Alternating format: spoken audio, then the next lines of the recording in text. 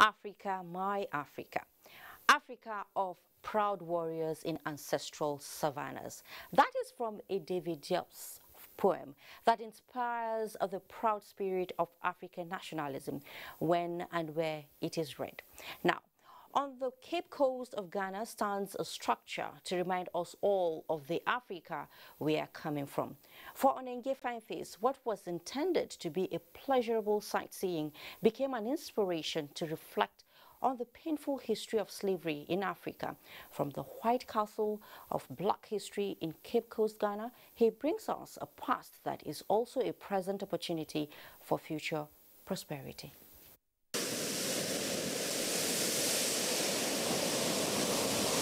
The Atlantic roars in constant tremor on the shores of Cape Coast, Ghana, one curious meeting place for sea and land.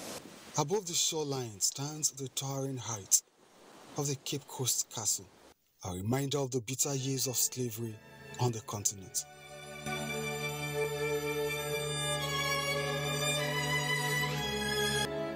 Church services, slaves underneath. Robert Morgan Mensah tour guide at the castle tells me that the depth of history buried in this castle, even through imagination, can break any human heart. It is both a fortress and a broken hope. Fortress for the colonialists, broken hope for the thousands of African slaves who went through it, never again to see their homes. Having finished the slave trade, the Europeans have gone after slave trade was over, they colonized us. We need to maintain our heritage.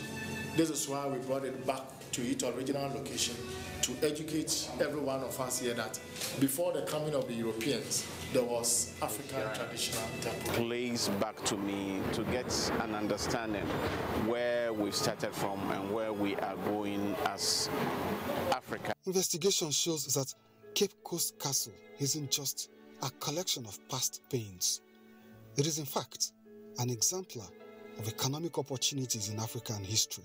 I think what we need to do is, is to invest more in tourism so that we can generate more traffic and so bring in more for, uh, foreign um, uh, investment and, and um, you know, uh, more resources into our various countries in the West African sub-region.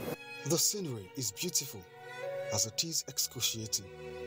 Nestled on the Atlantic, Cape Coast Castle from the years of slavery in Ghana to these days of reflections overlooks the ocean to which it has considered many African dreams. And the sea? It roars in constant tremor on the shores of Cape Coast, Ghana. On Nengiye Fine Face, NTA News.